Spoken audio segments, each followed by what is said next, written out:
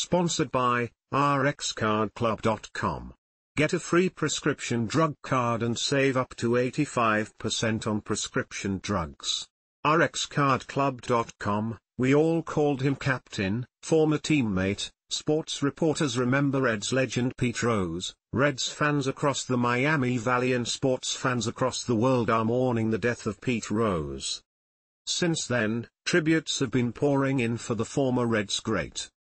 News Center 7 spoke with professional writer Hal McCoy, whose skill with the written word got him into baseball's Hall of Fame.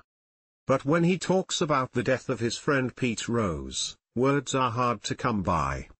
I'm supposed to be a man of words, but when something like that happens to somebody who you've been associated with all your professional life, it was very stunning, McCoy said.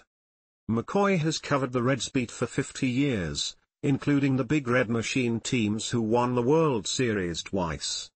Baseball has lost probably the greatest ambassador to the game it could ever have, McCoy said.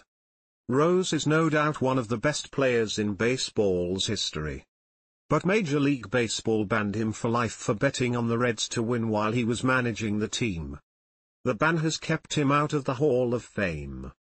In 89, when all this came down, that was one of the hardest things I ever had to do because it was, you know, you're looking up to a guy that you've admired all your life, and now he's breaking the rules and getting kicked out of the game you loved, former WHIO-TV sports director Mike Hartsock said.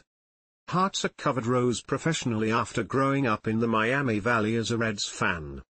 Every time I ran into Pete, didn't always know me by name, but he knew me by where I worked. He knew me from being at Channel 7 in Dayton, Hartsock said. Darrel Chaney spent seven of his 11 years playing Major League Baseball as Rose's teammate in Cincinnati. We didn't have a C for captain for him in those days, but we all called him captain because that's what he was, Chaney said. They won a World Series together in 1975. He's going to go down to me as one of the greatest baseball players that ever lived and one of the guys that made the biggest mistake of his life by getting involved in gambling and letting it carry over until he ended up betting on the game. But he understood that all the way to the end, Chaney said.